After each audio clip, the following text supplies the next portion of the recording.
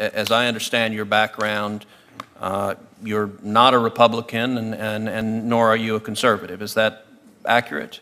that would be an understatement. Um, and, in, and indeed, you're the former editor in chief of Psychology Today. Correct. So you're a respected academic.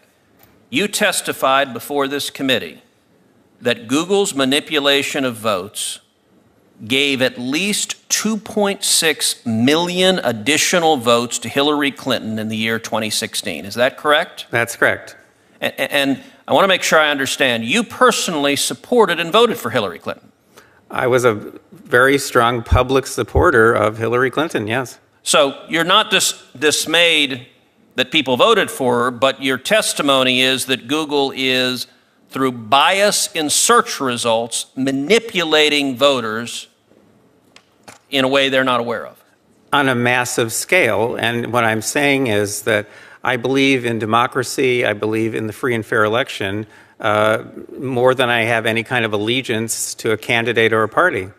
And, and looking forward, if I understood your testimony correctly, you said in subsequent elections, Google and Facebook and Twitter and big text manipulation could manipulate as many as 15 million votes in a subsequent election? In 2020, if all these companies are supporting the same candidate, there are 15 million votes on the line that can be shifted without people's knowledge and without leaving a paper trail for authorities to trace. Now, now, you described the go vote reminder, and you said it wasn't a public service announcement, but rather manipulation. Can you explain how? I'm not sure everyone followed the details of that. Well, sure. Um, if on election day in 2016, if Mark Zuckerberg, for example, had chosen to send out a go vote reminder, say just to Democrats, and no one would have known if he had done this, that would have given that day an additional at least 450,000 votes to Democrats. And we know this without doubt because of Facebook's own published data, because they did an experiment that they didn't tell anyone about during the 2010 election. They published it in 2012. It had 60 million Facebook users involved. They sent out a go vote reminder, and they got something like 360,000 more people to get off their sofas and go vote who otherwise would have stayed home. The point is, I don't think that Mr. Zuckerberg sent out that reminder uh, in 2016. I think he was overconfident. I think Google, Google was overconfident. They, all these companies were. Uh, I don't think he sent that out without monitoring systems in place. We'll never know what these companies are doing. But the point is, in 2018, I'm sure they were more aggressive. We have lots of data to support that. And in 2020, you can bet that all of these companies are going to go all out. And the methods that they're using are invisible, they're subliminal, they're more powerful than most any effects I've ever seen in the behavioral sciences. And I've been in the behavioral sciences for almost 40 years. You know, our Democratic colleagues on this committee often talk about what they view as the pernicious effect of big money and big corporate dollars.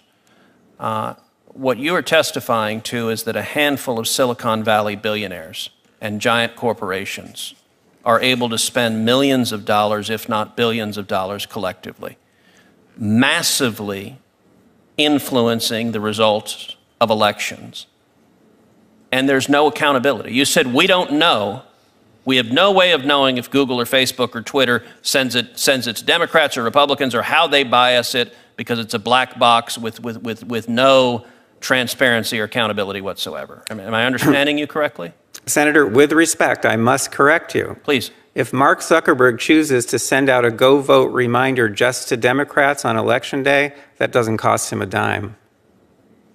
Fair enough. Um, do you happen to know who the Hillary Clinton campaign's number one financial supporter was in the year 2016? Uh, I think I do, but please remind me. The, number one financial supporter of the Hillary Clinton campaign in the 2016 election was the parent company of Google, Alphabet, oh, yeah. who was our first witness. They were her number one financial donor, and your testimony is through their deceptive search methods, they moved 2.6 million votes in her direction. I would think anybody whether or not you favor one candidate or another, should be deeply dismayed about a handful of Silicon Valley billionaires having that much power over our elections to silently and deceptively shift vote outcomes. Again, with respect, I must correct you. The 2.6 million is a rock bottom minimum. Hmm. The range is between 2.6 and 10.4 million, depending on how aggressively they used the techniques that I've been studying now for six and a half years.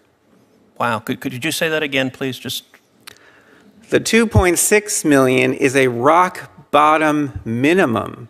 The range is between 2.6 and 10.4 million votes, depending on how aggressive they were in using the techniques that I've been studying, such as the search engine manipulation effect, the search suggestion effect, uh, the answer bot effect, and a number of others. They control these, and no one can counteract them. These are not competitive. These are tools that they have at their disposal exclusively. if any head, headline comes out of this hearing, that should be it.